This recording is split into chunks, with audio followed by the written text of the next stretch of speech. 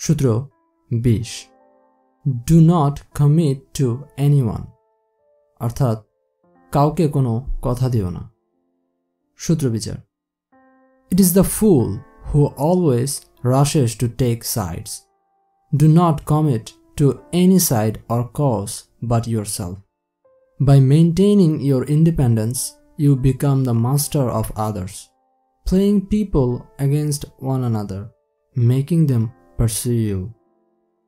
অর্থাৎ, বোকারাই কেবল কারও পক্ষে নিজেকে ভেরাবের জন্য উঠে পড়ে লাগে। নিজেকে ছাড়া অন্য কোনো দলের কাছে বা কোনো ব্যাপার নিয়ে কারও সাথে প্রতিশ্রুতিবদ্ধ হইও না। নিজের স্বাধীনতাকে রক্ষা করার মাধ্যমে তুমি অন্যের প্রভু হয়ে উঠতে পারবে। মানুষকে একে অন্যের বিরুদ্ধে লড়তে দাও। তাদেরকে তোমার দিকে আকর্ষিত হতে দাও। রবার্ট গ্রিন বলেন যে ক্ষমতা যেহেতু আপনার উপস্থিত হবার ধরনের উপর নির্ভর করে, তাই আপনাকে এমন চালাকি শিখতে হবে যাতে করে আপনার ইমেজের মর্যাদা বাড়ে। এখন এই যে নিজের ইমেজ বাড়ানোর কথা রবার্ট গ্রিন বললেন, এটি করার একটি মোক্ষম ট্রিক হলো এই সূত্রটি। কোনো ব্যক্তি বা কোনো গ্রুপকে কখনোই ওয়াদা বা প্রতিশ্রুতি না দেওয়া। যখন আপনি কোনো পক্ষে না গিয়ে একটু দূরে অবস্থান করবেন, তখন আপনি অন্যের নজরে একটি সম্মানীয় আসনে গিয়ে আসীন হবেন।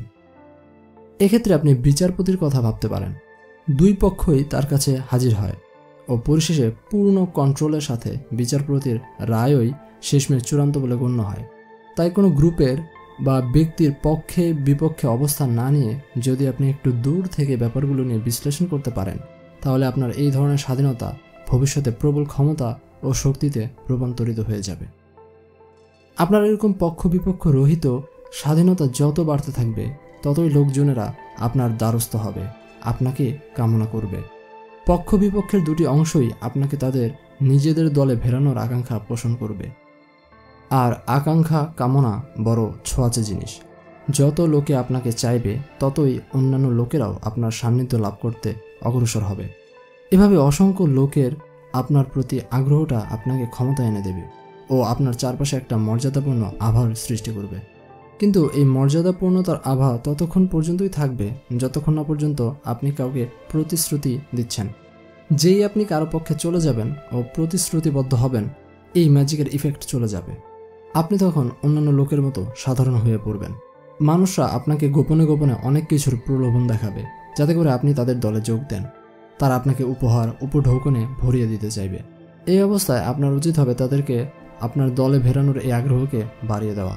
নিজের ভ্যালুকে একটু উপরে নিয়ে নেওয়া। কিন্তু কোনো মতেই প্রতিশ্রুতিবদ্ধ হওয়া চলবে না।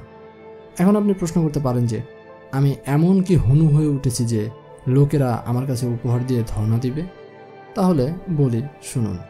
আপনি যেখানেই যান না কেন, নানা রকমের পক্ষ বিপক্ষ এরকম টাইপের সিচুয়েশনে আপনাকে পড়তে হয়। এটা ব্যক্তিগত, বন্ধুমহল, পারিবারিক থেকে শুরু করে রাজনৈতিক অবস্থা পর্যন্ত খাটে। আপনি একটু ভাবলে বুঝতে পারবেন যে পক্ষ বিপক্ষ নিয়ে মানুষ আসলে কেন এত উন্মাদ হয়? তারা উন্মাদ হয় এই কারণে যে এতে তাদের স্বার্থ রয়েছে, ক্ষমতা পাবার কামনা রয়েছে। এখন আপনি যদি একটু বুদ্ধিমান হয়ে থাকেন, তাহলে সবাই যা করে তা থেকে আপনি একটু সরে এসে একটু নির্লিপ্ততা বজায় রাখতে পারলে সকলের অ্যাটেনশন আপনার দিকে চলে যাবে। আর সেই অ্যাটেনশনেই আপনার ক্ষমতা। পক্ষ বিপক্ষের দোলাচলজনক অবস্থায় সবাই একে অপরের ওপর নির্ভরশীল হয়ে পড়ে ও একটা পরাধীনতার মাঝে থাকে। কেননা সবাই সবার পক্ষে প্রতিশ্রুতি দিয়ে নিজেদেরকে বন্ধনে বেঁধে ফেলেছে। অপরদিকে আপনি সবার সাথে মিশলেন, কিন্তু কাউকে প্রতিশ্রুতি দিলেন না। এতে করে আপনি স্বাধীন থাকবেন, আপনার স্বাধীনতা অন্যকে আকৃষ্ট করবে। তবে এক্ষেত্রে যে সমস্যাটা হয়ে যায় তা হলো, অন্যেরা আপনাকে তাদের দলে ভিড়িয়ে আপনার স্বাধীনতাকে কিনে নিতে চাইবে এবং আপনাকে বিশাল অঙ্কের উপঢৌকন দিয়ে বসতে চাইবে। এই সময়টা নিজেকে সংবরণ করাটা একটা নিজের কাছে চ্যালেঞ্জ বটে। তাই রবার্ট গ্রিন বলেন যে, কোনো মূল্যেই আপনাকে কারোর সাথে প্রতিশ্রুতিবদ্ধ হওয়া যাবে না। আপনি অনেকের উপহার ইচ্ছামতো গ্রহণ করতে পারেন, কিন্তু নিজেকে যে অন্যের থেকে সরিয়ে রাখা, এটা আপনাকে শক্ত হাতে মেনটেন করতে হবে, যদি আপনি এই সূত্রকে ভালোভাবে কাজে লাগাতে চান। এই জন্য কখনো অন্যের বাধ্যবাধকতায় না জড়িয়ে নিজেকে একটু দূরে সরিয়ে রাখলে সকলের কামনা আপনার দিকে চলে যায়। ও, এটাই তো আপনার চাই। এখানে একটা ব্যাপার আপনার মনে রাখতে হবে। অন্যকে প্রতিশ্রুতি না দেওয়ার মানে এই নয় যে আপনার আসলে কাউকে প্রতিশ্রুতি দেওয়ার মতো ক্ষমতাই নেই। না, ব্যাপারটা আসলে এরকম নয়। আপনার প্রতিশ্রুতি দেওয়ার মতো যথেষ্ট ক্ষমতা ও হিম্মত আছে, কিন্তু আপনি কারও কাছে তা দেবার জন্য দায়বদ্ধ নন। এরকম একটা অ্যাটিটিউড আপনার থাকা চাই। যদি এরকমটা না থাকে, তাহলে লোকে আপনাকে পুছবে কেন? তাই এই অ্যাটিটিউডটা অন্তত আপনাকে অর্জন করতে হবে এবং তারপর এই সূত্র নিয়ে আপনাকে কাজ করতে হবে। কুমারী রানী এলিজাবেথ এক, এর মতো আপনাকে কেবল পাত্রের মধ্যে থাকা উপাদান নাড়তে হবে, মানুষের আগ্রহকে বাড়াতে হবে। সবার মাঝে আপনাকে কামনা করার মোহ প্রজ্বলিত করতে হবে, কিন্তু কখনোই তাদের কাছে ধরা দেওয়া যাবে না, কেবল আশা দিতে হবে। ব্যাখ্যার এই পর্যায়ে গ্রিক সৈন্য ও রাষ্ট্রপতি আলসিবিয়াডিসের একটা কাহিনী আপনাদেরকে শোনাব। আলসিবিয়াডিস ছিলেন এই সূত্র পরিচালনায় পটু একজন ব্যক্তি। তিনি ছিলেন এমনই ব্যক্তি যিনি কিনা এথেন্সের নৌবহরকে চারশো চোদ্দ খ্রিস্টপূর্বাব্দে সিসিলি আক্রমণে প্রেরণা জুগিয়েছিলেন। যখন ঈর্ষাগতর এথেন্স সৈন্যরা যুদ্ধ শেষে নিজ দেশে ফিরে এসে তার বিরুদ্ধে এই যুদ্ধ লাগানোর পেছনে ইন্ধনের জন্য অভিযোগ দাখিল করে, তখন তিনি সব স্পার্টানদের উপর চাপিয়ে দেন। পরবর্তীতে যখন সিরাকুসে এথেন্সরা পরাজিত হয়, তখন তিনি স্পার্টা ত্যাগ করে পার্সিয়ায় চলে যান। এদিকে এথেন্সদের হারিয়ে স্পার্টানরা ক্ষমতা দখল করে বসেছে। এবং স্পার্টান ও এথেন্স উভয় রাষ্ট্রই আলসিয়াবিডিসকে ধরার জন্য তককে তককে রয়েছে। অপরদিকে পার্সিয়া আলসিয়াবিডিসকে সাদরে গ্রহণ করে নেয়, কেননা সে হলো এমন ব্যক্তি যার এখন এথেন্স ও স্পার্টা দুটি রাষ্ট্রের উপরই তার প্রভাব রয়েছে এবং তাকে সাথে রাখলে পার্সিয়ানদেরই ফায়দা হবে। অপর দুই রাষ্ট্রের ব্যাপারে তথ্যাদি জানার ব্যাপারে। এভাবে আলসিয়াবিডিস প্রত্যেককেই কথা দিয়েছে বটে, কিন্তু কারও কাছে সেই কথা পালন করার জন্য প্রতিজ্ঞাবদ্ধ হয়ে থেকে যায়নি। আর এটা তাকে দিয়েছে স্বাধীনতা এবং পরিশেষে সে তিনটি রাষ্ট্রেরই সকল ক্ষমতার কার্ড অধিকার করে ফেলেন। তাই আপনি যদি ক্ষমতার জন্য অতি উৎসুক হয়ে থাকেন, তাহলে আলসিয়াবিডিস যে কৌশল অবলম্বন করেছেন, তাই করার চেষ্টা করুন। নিজেকে দুটি সংঘাতপূর্ণ ও প্রতিযোগী দলের মাঝে অবস্থান করান। এক পক্ষকে আপনার সাহায্যের ব্যাপারে ওয়াদা করুন, এদিকে অন্য পক্ষও চাইবে তার শত্রুকে পরাজিত করতে। তাই তারাও আপনাকে তাদের দলে ফেরাতে চাইবে। যখন দেখবে উভয় দলই আপনার অ্যাটেনশন পাওয়ার চেষ্টা করছে ঠিক তখনই আপনি একজন গুরুত্বপূর্ণ ব্যক্তিত্বে পরিণত হয়ে যাবেন। এজন্য তাড়াহুড়ো করে কারও কাছে প্রতিজ্ঞাবদ্ধ হবার থেকে অপেক্ষা করুন। দেখবেন আপনার কাছে ক্ষমতা জমা শুরু করে দেবে। এই সূত্রের ব্যাপারটি প্লে বয় বা প্লে গার্লদের বেলাও খাটে দেখবেন যারা প্লে বয় বা প্লে গার্ল তারা সব মেয়ে ও ছেলেদের কথা দেয়, কিন্তু কারও প্রতি কমিটেড থাকে না। তারা কোনো কিছুতে পরিপূর্ণভাবে কারও কাছে নিজেকে সমর্পণ করে না। এজন্য তাদের এই অনিশ্চয়তা ও নিজেকে কারও সাথে প্রতিজ্ঞাবদ্ধভাবে জড়িয়ে পরাধীন না হয়ে একটা স্বাধীনতার যে ছায়া তাদের মাঝে পড়ে, এটা মেয়ে বা ছেলেদেরকে আকৃষ্ট করে।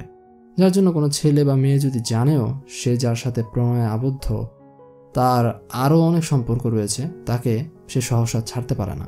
কেননা এত এত লোকজন তাকে কামনা করে, এটা একটা চার্মিং ইফেক্ট প্রদান করে ওই প্লে বয় বা প্লে গার্লের উপর।